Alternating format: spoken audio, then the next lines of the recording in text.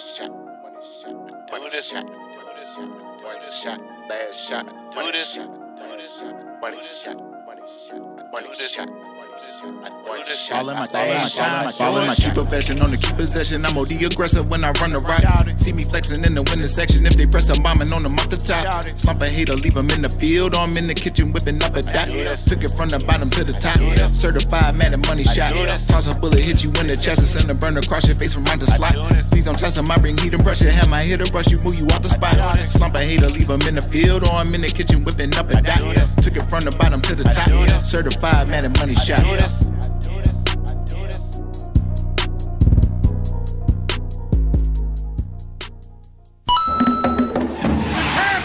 If you guys are looking for fast, cheap, reliable MUT coins, check out my sponsor at MMOXP.com and use discount code MONEYSHOT to get 5% off your order. Link in the description below.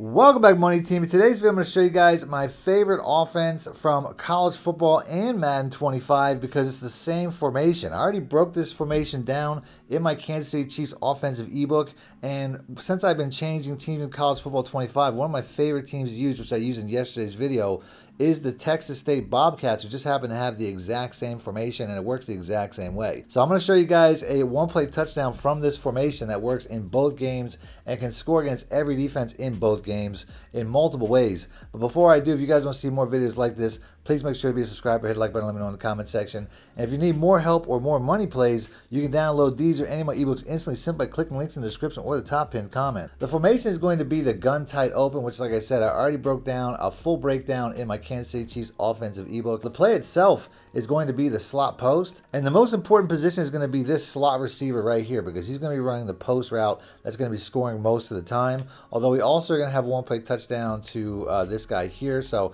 just make sure your best two receivers are in this these two positions, with your best receiver being in this position here. Now, for the purposes of this video, pretty much every setup is going to be the same, and I'm going to show you guys a one play touchdown going from defense to defense, starting with Tampa 2. But if there are any differences on how to set up a play against a specific defense, I will point that out. Now for this first play here, you don't have to make any adjustments. You just have to make a good throw to this X receiver. As you can see right here, he has space above the cornerback and outside the safety. And that's because this receiver here gets over the top of the cornerback, who typically won't turn around based on the fact that there's a drag coming into his area that's going to draw his attention.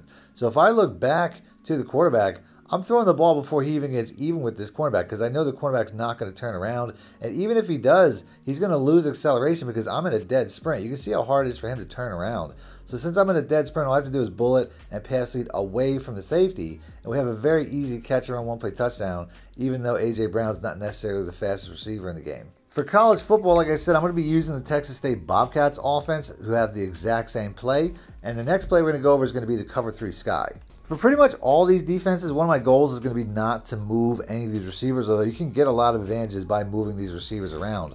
But I'm going to put the B receiver here in a corner route, and then I'm also going to put him all the way down as low as I can go and block the running back. That corner route will hold down the outside cornerback while the wide corner once again gets open over the top. I just have to buy some time because we're going against the best defense in the entire game. And you can see how easy that is as that cornerback was nowhere to be found. And this works the exact same way as it does in Madden. As you can see, that corner route's going to hold that cornerback down to the point where once this guy crosses the safety, he's just going to be wide open as there's just nobody in front of him. And it's going to work the same way in Madden, but we're going to actually pick a cover three match just to show a slightly different variation. And you can see it works the exact same way as we just roll out to buy ourselves a little bit of time, and it's the exact same thing. Next up, we're going to go over cover four match. Cover four is one of the easiest defenses to beat. You just have to have five receivers at the line of scrimmage that are all running routes over 10 yards. And this is the same way when it comes to Madden. So we're going to break our rule about motions and we're going to motion out this running back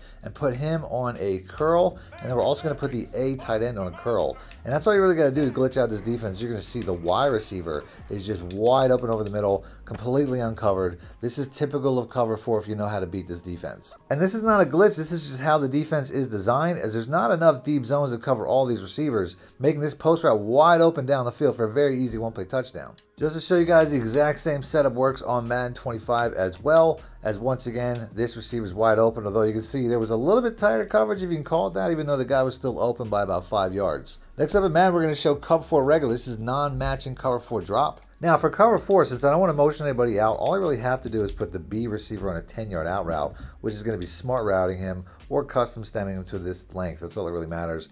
Then block the running back, and all I really have to do is buy a little bit of time in the pocket while this wide receiver crosses the field, which will be easy because typically you only have three pass rushers, which is not really going to give you a lot of pass rush. And you can see how that cornerback is held down by that 10 yard out route on the opposite side of the field, where this receiver crosses both safeties for another easy catch and run one play touchdown. Now I switched over to college because I want to show you guys a second setup for cover four, which is probably easier, but I have to break my uh, my motion rule one more time. 10 yard out routes are cool, but a better route to use is going to be a comeback route, which you only get if you motion out the receiver. So I have to motion them out, which like I said, I don't necessarily want to make too many motions because I don't want to give that, you know, give my opponent any tells. But you could always make fake motions on run plays and stuff like that throughout the game. But this is going to help you out to keep that cornerback down even more because this is just a much better uh, option as I really break the pocket there. And you can see the cornerback is much further down. And that's because outside cornerbacks in that type of drop are designed to bite on comeback routes routes the most. As you can see, the cornerback drops back there on that comeback route, leaving this guy wide open as he crosses the field once again for a very easy catch and a one play touchdown. But you can use either setup, so don't feel like one setup is for college and one setup is for Madden. As you can see right here, we're doing the exact same thing. The cornerback is nowhere to be found, and we have another very easy play to the corner. Next up, we'll go over cover zero. Now, there's more than one way to run this once again, so I'll show you in both college and Madden, but the, but both setups work in both games. All you really got to do is change the blocking structure for this first one by putting the running back on a block and release, and then just custom, you know, basically custom slide uh, until you're picking up the blitz. So this is pretty much going to pick up the blitz that I picked.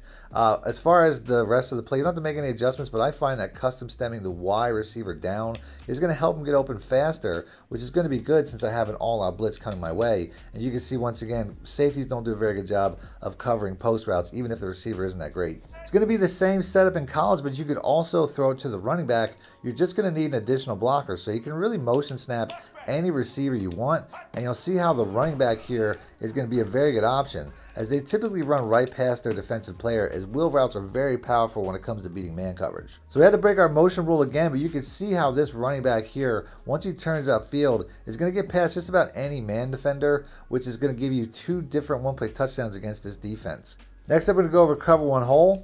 The same way this wheel route beats man cover zero, it's also going to beat man cover one, as you really just have to get a pass lead away as soon as he bumps into that defender. As you can see right here, we get a very easy catch and run against this defense as well. And that's because man defenders don't flip their hips and run without losing acceleration. As you can see, he runs right past them. But the post route works the same way it did in Madden. So we're just going to block the running back this time, make a decision before the snap, as we'll always have checkdowns to the crossing receivers. And you'll notice that the Y receiver will cross the field the exact same way and beat his man coverage defender every single time. As you can see right here, we're using one of the worst teams in the game game against one of the best teams in the game, and this still isn't good enough to cover this route as we have the best safety in the game getting completely cooked in double coverage for another one play touchdown. And then last but not least, we got cover two man. In college football, I find it's best to custom stem this wide receiver up a little bit. And if you really want to pull these safeties apart, motion out the B receiver, and that will help to pull the safeties apart even more. As you can see right here, this guy is going to get separation the exact same way, and the extra five yards makes sure that I get it over the top of the safety. So that's it. That's the video. I just showed you guys a one-play touchdown against every single defense in both college football and Madden. If you guys want to see more videos like this where I try to cover both at the same time, please make sure to be a subscriber. Hit like button. Let me know in the comment section. Other than that, I have more tip videos to both games popping up on screen. So if you want to check them out, just click the links. And until next time, thanks for watching. Money Shot out. Need more help or just want to show your support? Then head over to my Patreon and join my team, where you can get exclusive content like ebooks and bonus plays, as well as early access to my vids and more. Link in the description below.